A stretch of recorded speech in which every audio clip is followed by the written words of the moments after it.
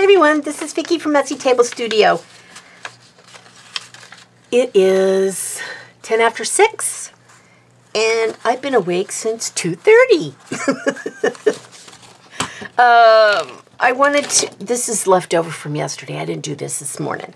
Uh, I wanted to come on and talk about stamps. And I want to show you some things that I've been playing around with. Yesterday, I carved uh, two stamps, made an adjustment on another one, and I want to show you what, excuse me, what I did.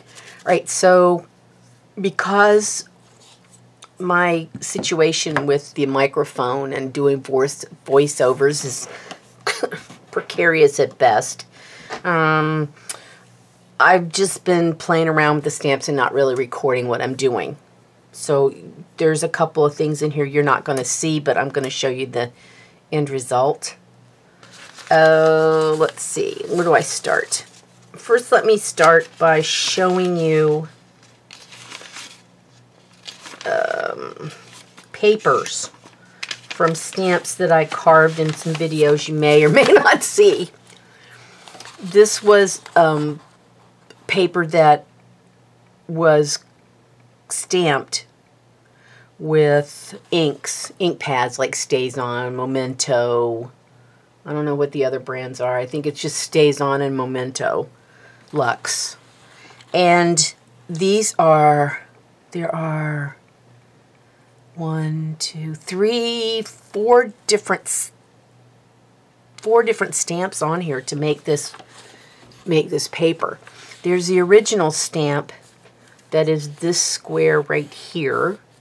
Then there is a small, there's a gap in between these where I used a very small little stamp I had from years ago. The inside ring here, which overlaps on the on two stamps, three stamps, is a little swirly stamp that I carved a few years ago.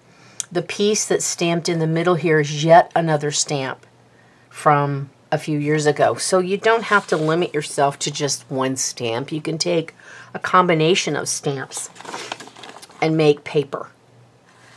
I have scanned all of these so that I don't have to keep doing this because, to be honest with you, it takes a while to stamp a whole 8.5 by 11 sheet. This one is two is two stamps, so it's the original green block here, and then that little swirly stamp, a different shade of green in the middle. This one I did a while ago, but this is not stamping. But I did scan this paper because I really like this one. This is watercolor where I took, uh, let's see, what did I use? I used some kind of end of something. I think it was a tape, the plastic thing for a, a tape, and stamped it on here and then watercolored and spritzed it. This is not made from rubber stamps. This is a rubber stamp paper that I made the other day. Um, this is a roll-off paper, and I really liked the different colors that were in it, the way they got, they were dark and then turned to a yellow orange, and then I did red down the side.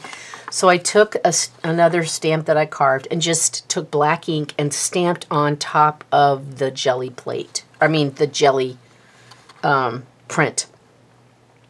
I like the way this looks. I, I find it rather interesting. This is a stamp that started out as an idea to make like a pinwheel so that I could when I when I carved it, I carved all of these the red spots out so where it's completely clean.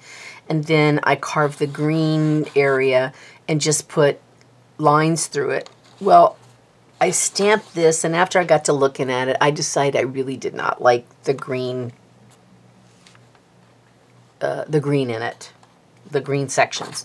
So I took the stamp and I carved out the green. Okay, so I showed that to you. Where's the rest of it? Um, so I didn't I I didn't like the way it turned out, so I recarved the stamp. And did I stamp any of it? I know I did. I just don't know where I put it. Anyway, so I took all that out. So now what I have is a stamp. Well, I don't know where I put the paper. Booey. Um, it's just a plain stamp that has divides in it. And when you stamp it, you can put color in all the places instead of just where the red is, which are totally blank. You can see the blank spots are dug in deeper. And then the ones that I redid are up higher because I, I didn't go down deep enough, but this stamp is getting thinner by the minute. So this was what it looked like, and now it's going to look like something totally different. This is one that I did in a past video where I stamped the whole stamp on there with a orange pad. This is a stamp from previous years that I, I liked, and I thought I should do a, I think it's like an, I think it's an inch and a quarter by not quite an inch, three quarters of an inch. It's it's really small. I mean, it doesn't look that small here because I'm sticking up close to the camera, but it is pretty small stamp. I like the way the stamp looks. Then I carved this one the other day. I'm not really happy with the way it looks once it's stamped, but I think it'll look better on a jelly plate. I, I like the way it looked on the jelly plate. So stamping this one with ink pads may not be an option. And I might alter the stamp in some way or another. I don't know for sure yet. This one is one that I'm not exactly thrilled about. Although it doesn't look bad on ink, but again, it's one of those that might look better on the jelly plate. And here's another one.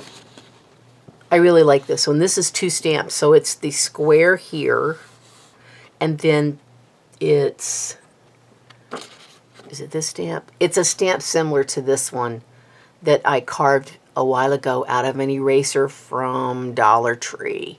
Then I took double stick tape and some round wood things that somebody gave to me and I put double stick tape on it and it does move around but you know it's good enough.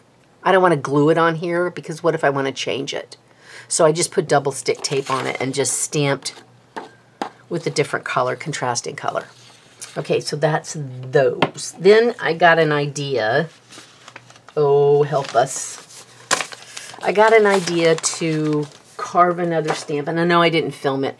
I did it with four circles, and then at the last minute, I put the lines on there, which I think was a mistake, but, you know, you salvage where you can.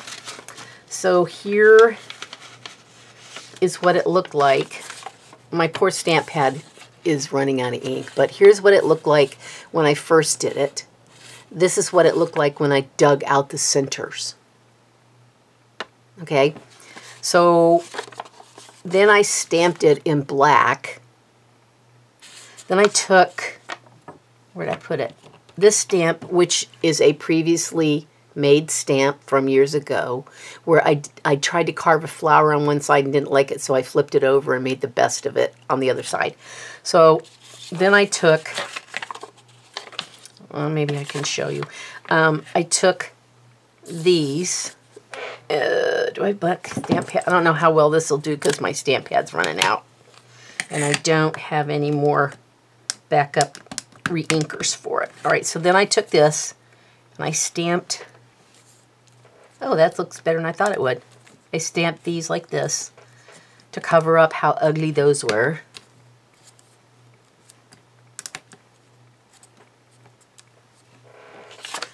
And then I colored them in with a Posca pen to see what it would see what it would look like.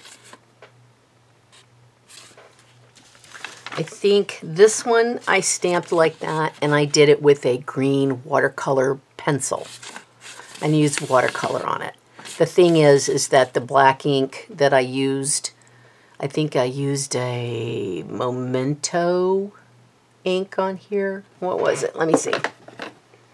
Oh, it was Colorbox, and it is not water waterproof or water resistant. So when I did, I didn't realize that, when I did the um, watercolor to activate it when I after I drew it in with the pencil, it made black marks in here. And then I realized that that was not the best choice of inks. So I need to stick with my StazOn. So there's that, that stamp I carved that you, there's no video for. Probably a good thing. okay, let's see, what else did I do? Oh, um, I made this stamp. Geez, I'm trying to think how many years ago I carved this stamp. I think it was in 2019, 2018. I honestly don't remember.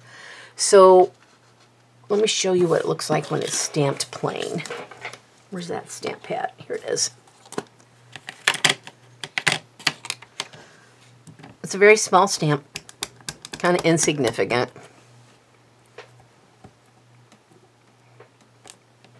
So this is what it looks like when it's stamped. I really like this stamp. Okay, so there's that. That's the whole stamp. So I thought, well, I, maybe I could gussy up some of the others like I did this round one with the, you know, the other stamp to kind of make the circles a lot better. So I thought, okay, let's play with this. So what I did was I took a piece of paper and I stamped it in four directions. So I stamped it top, bottom, and the sides. And I thought, well, that kind of makes a circle. So let me keep doing it. So I stamped it so that, you know, these met and then this way, and then, then I did all the four ways. Then I took a Posca pen and colored them all in, and I really like the way it looks. I just think it's cool. Such a small little stamp, for me, made kind of a big impact. And just because you have trash stamps left over doesn't mean you can't use them for something. So first I did this. Then I thought, well, let me let me see what it looks like if I put two sides together.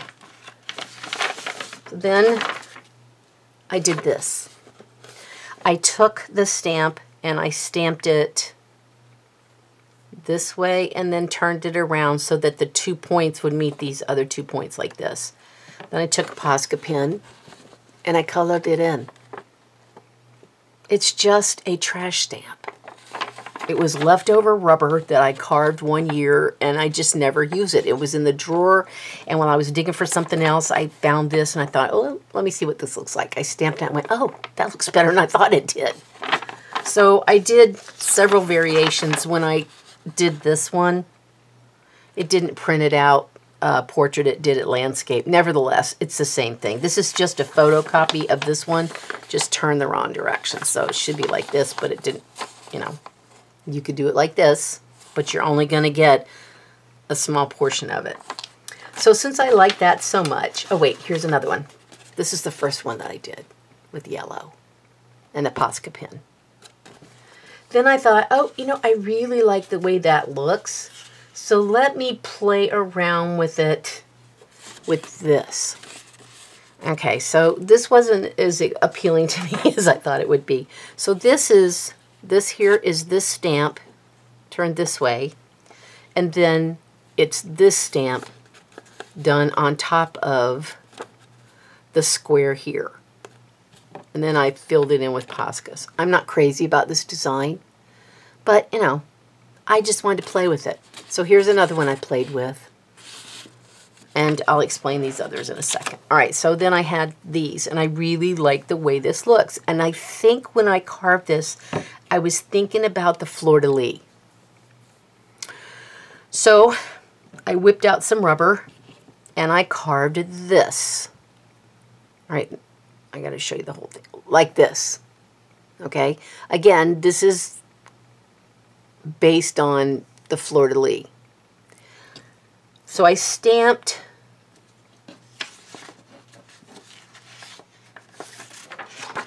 I stamped this with the, the whole stamp here, this thing, okay? And I took it and I, I was trying to figure out a way to make a, a large design out of the little stamp by repeating it and turning it different directions. This did not go as the way I thought it would. But I, I got a nice design this way. But I can't, it doesn't fit well together in other directions. Nevertheless, I just like the way it looks. It'll make a great background for something.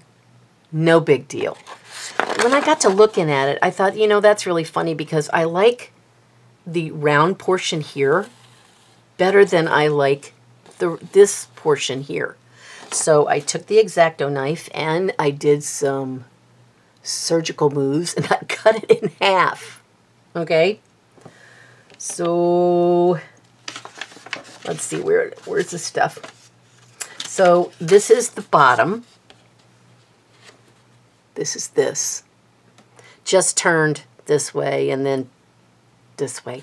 And I really like the way this looks. This makes a great edging for something. Or, you know, if you're going to sew it and sew it on the book, you can cut it right down the middle here and you end up with two side pieces. I, I like the way this looks. I took the purple Posca and colored inside the hole. So I thought that was a really cool design just by cutting that in half. All right, so then I took this part and I stamped it the same way I did the circles. I took this and then flipped it around to do this. And I like the way this looks too. That's just another repetitive design. I don't think that I can make it work this way. I mean, I could, but I really would like for it to fit more snugly in there.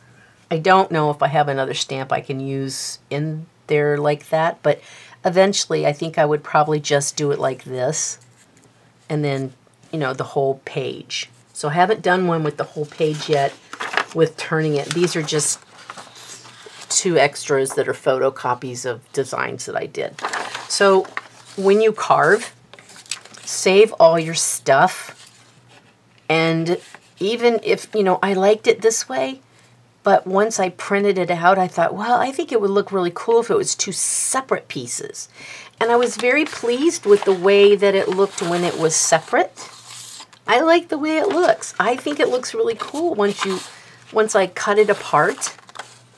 I do, where's the other part? I do like it where it's cut apart. Where's the other one? Well, Fooey. Oh, this is the other one. It's under there.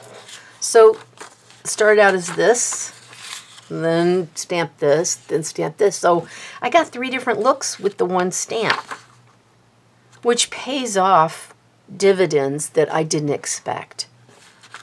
Um, I'm going to try as best I can to insert two photos of my stamp supply drawers. I have two of the large um, or the wide IKEA cabinets and um, I have two drawers full of stamp supply stuff. So I thought I would take a photo to show you what they look like. And I will try, if I can figure out how to use this new editing thing, to insert the photo into the movie so you can take a look at it.